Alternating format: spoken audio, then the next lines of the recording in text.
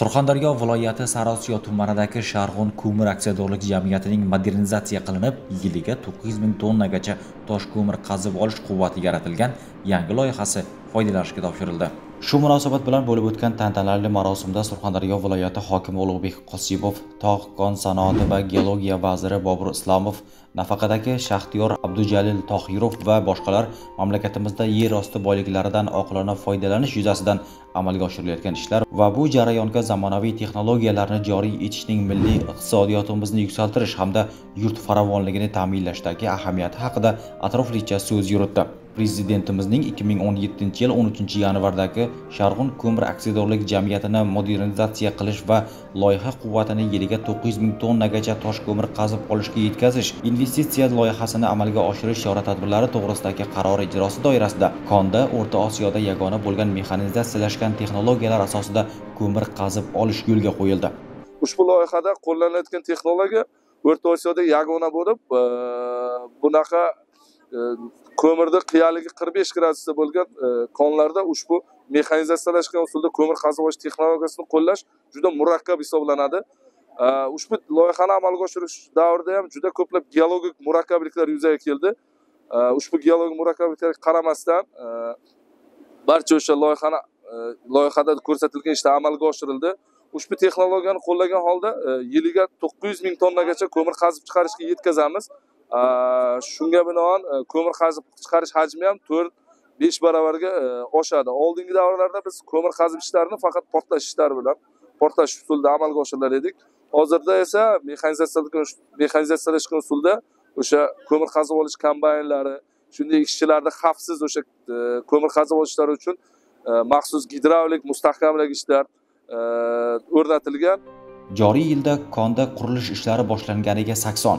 Ko'mir qazish boshlanganiga 65 yil bo'ldi. O'tgan davrda shaxtalarda ko'mir qazib chiqarish va sotish hajmining pasayishi korxonaning nafaqat rivojlanishi, balki ishlab chiqarishi uchun ham mablag' muammosini yuzaga keltirdi. Jumladan 2011-yilda ishlab chiqarishdagi tog'-kon jihozlarining jismoniy eskirishi oqibatida ko'mir qazib olishni yiliga 18,4 ming tonnagacha pasaytirdi yoki 1958-yildan 2022 yilgacha qazib olingan ko'mir 9,3 million tonnani tashkil etdi. Davlatimiz rahbari tashabbusi bilan sifatli tosh ko'mir zaxirasiga boy konni rivojlantirishga qaratilgan e'tibor so'nggi 5 yilda tosh ko'mir qazib chiqarish hajmini 56 foizga oshirdi.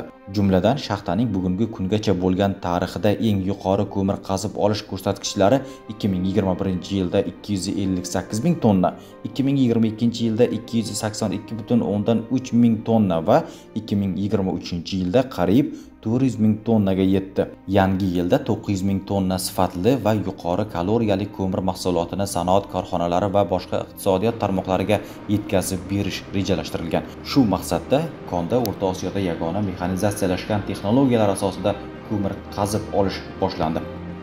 Ushbu investitsiya loyihamiz doirasida qo'llanayotgan barcha texnologiyalar ilg'or texnologiyalar bo'lib, o'sha Xitoy davlatidan olib kelingan bo'lib, ikki yil davomida bizning e, mahalliy mutaxassislar tomonidan o'zlashtirish e, rejalashtirilgan ushbu ikki yil davomida mahalliylashtirgandan so'ng e, o'zimizning mahalliy mutaxassislar ko'mir qazib chiqarishga erishadi. Yillik to'qqiz yuz ming tonna ko'mir qazib chiqarish e, chiqarganimizdan so'ng e, oyiga yetmish ming yetmish besh ming tonna ko'mir qazib chiqariladi. Bu esa mamlakatimizga bo'lgan ko'mirga e, bo'lgan ehtiyojini qondirishga xizmat qiladi. Loyihani ishga tushirish uchun korxonaning 11 million dollar o'z mablag'i. Xitoy eksim bankining 89,8 million va o'z milliy bankning 4,7 million dollar kredit mablag'i yo'naltirildi. Loyiha doirasida xitoylik hamkorlar bilan Shtolniya va 11,5 ming vagon metr yer osti yo'laklarini o'tish ishlari yakunlandi. Asosiy tog'-kon uskunalari o'rnatildi. Sharg'un shaharchasidan Shtolniyagacha 24 kilometr temir yo'l hamda ko'mir ortish stansiyasi qurildi.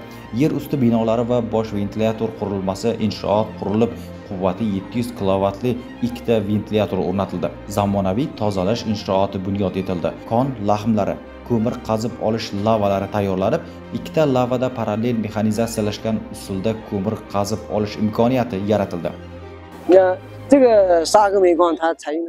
Sharg'in ko'mir konida kokislanish xususiyatiga ega bo'lgan yuqori sifatli tosh ko'mir mavjud. Shuning uchun qazib olish va tashib ketish sharoitlarini osonlashtirish uchun eng zamonaviy texnologiyalarni o'rnatdik. Biz o'zbekistonlik hamkasblarimiz bilan hamkorlikda o'rta osiyoda yagona bo'lgan yirik loyihani amalga oshirdik. Men xitoydagi konlarda ko'p yillar ishladim va orttirgan malakalarim asosida bu yerda faoliyat ko'rsatmoqdaman. Aminmanki o'zbekistonlik hamkasblarimiz bilan hamkorlikni yanada kuchaytirib bundanda yuqori natijalarga erishamiz.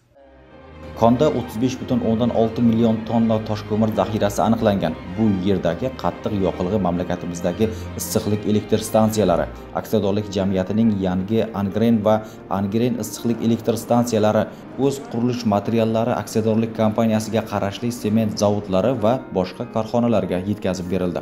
Yangi loyihaning ishga tushirilishi 500 ga yaqin yangi ish o'rinlarini yaratdi. Ko'mir qazib olish va davlat byudjetiga to'lovlarni o'tgan yillarga nisbatan 4-5 barobarga oshiradi. Shu kuni jurnalist va ijtimoiy tarmoq faollari uchun press tur ham tashkil etildi. Ishtirokchilar to'liq modernizatsiya qilingan konda yaratilgan yangi sharoit va qulayliklar bilan yaqindan tanishdi. Xorijlik va mahalliy mutaxassislar bilan suhbatlashib, o'zlarini qiziqtirgan savollarga javob oldi.